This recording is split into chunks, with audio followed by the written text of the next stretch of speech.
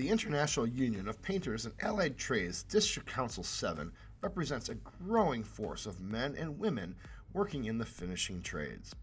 Finishing trades include industrial and commercial painting, drywall finishing, glazing and glasswork, paint makers, and sign and display.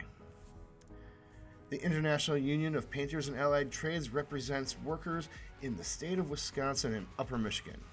The union offers apprenticeship programs between three and four years, depending on your pathway of choice.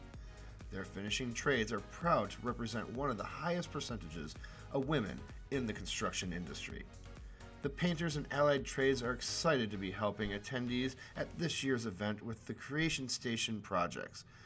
Visit them at Kids Building Wisconsin 2022 and they'll show you how to use your skills to make custom colors and paint a masterpiece on the project of your choice.